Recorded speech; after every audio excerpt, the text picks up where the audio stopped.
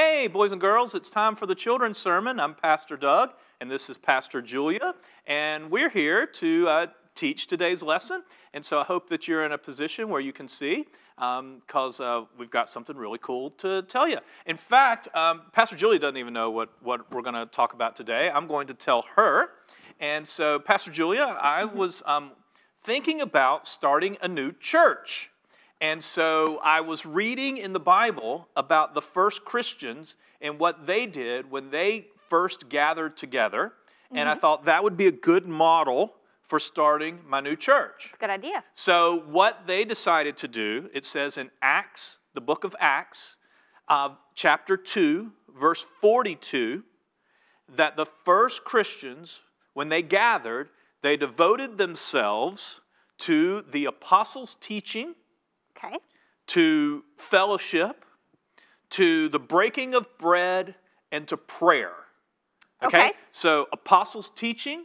Apostles' teaching. Fellowship. Fellowship. Breaking of bread. Breaking of bread. And prayer. And prayer. Okay. So I was wondering if you could uh, do that with me, and maybe we could start our own church. I'd love to. Let's okay. So I'm going to um, teach you something from, okay. from the, the first apostles, from the first disciples. Awesome. Okay, you ready? Yeah. God loves you.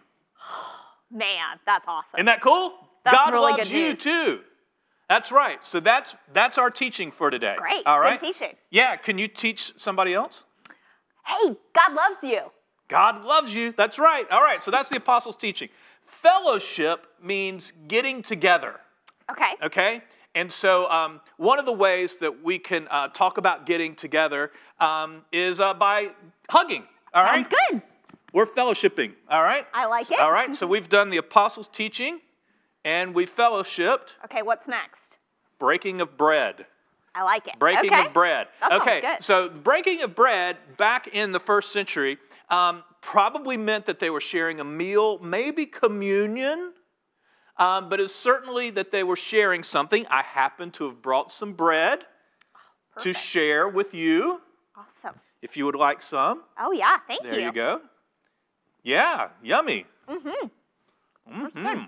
So, my thought is if you want to help us, that you don't have to have bread, but if you have something that you could share with somebody around you, with your brother or sister or friend or mom and dad or grandma or grandpa. Um, think of a toy. Um, maybe if you have some lemonade, or maybe you've got some bread laying around, you know, some food.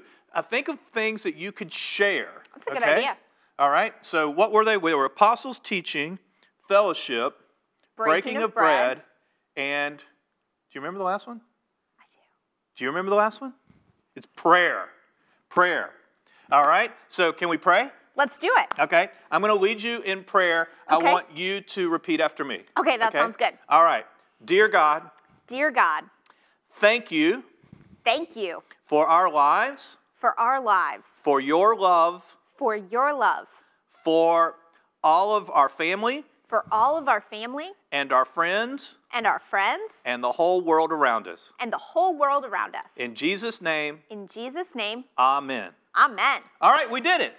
We did the a church. We started a church with the apostles' teaching, fellowship, breaking of bread, and prayer. Pretty cool. That was fun. Wasn't that neat? But you know what? What? We don't have to start a new church. We already do those things in our church. You're right. So we, do. don't have to do, we can do those things without having to start a new thing a because idea. we're already doing them now.